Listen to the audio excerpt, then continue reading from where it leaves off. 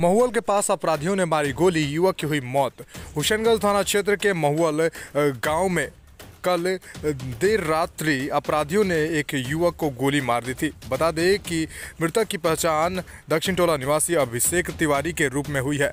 वहीं अभिषेक तिवारी के परिजन व स्थानीय लोग के द्वारा विरोध प्रदर्शन किया जा रहा है तथा अपराधियों की गिरफ्तारी की भी मांग की जा रही है। भाई हैं, जिनका नाम है मुकुल तिवारी। और बड़े भाई का अविनाश तिवारी दोनों शादी में जा रहे थे।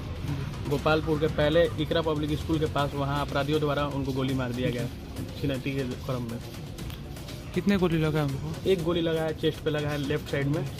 और प्रशासन को लगातार कॉल किया जा रहा था। प्रशासन के तरफ़ से किसी प्रकार की कोई रिस्पांस नहीं था। आए दिन सिवान में घटनाएँ घट रही है और प्रशासन एकदम चुप्पी साध के बैठी हुई है। कोई पकड़ा नहीं जा रहा है। यही अगर किसी मैंने पावरफुल व्यक्ति के घर का अगर केस होता तो छः घंटा के अंदर अपराधी थाना में होते। जिनको गोली लगा उनका क्या नाम है? मुकुल तिवारी नाम। है। ये हुसैनगंज थाना क्षेत्र के एकरा पब्लिक स्कूल के समीप में। दो सगे भाई अभिषेक तिवारी अपने भाई के साथ आ रहे जा रहे थे नेता करने के लिए। तभी एक पब्लिक स्कूल के सामने अपराधियों ने घेर के गोली मारने का काम किया जिससे घटना ही स्थल पर उसका मृत्यु हो गया। उनके भाई ने आनंद में लोग के सहयोग से सिवान सदर अस्पताल में लाए।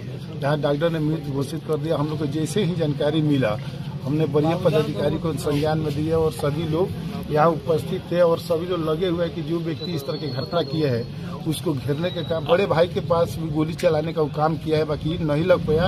उसके बाद उन्होंने हेमलेट से अपराधी को मारने का भी काम किया है। कहाँ पे गोली लगा है सर? गोली सीना में लगा हुआ है। हम सिवान प्रशासन से मांग करेंगे कि इस घटना में जो भी अपराधी है उसको चिन्हित करके अविलंब गिरफ़्तार किया जाए और इस तरह का माहौल पैदा किया जाए इस तरह का व्यवस्था पैदा किया जाए कि आने वाले समय में दूसरा भी व्यक्ति मृतक की पहचान अभिषेक तिवारी उर्फ़ मुकुल तिवारी के रूप में हुई है जो चार भाइयों में तीसरे नंबर पर था।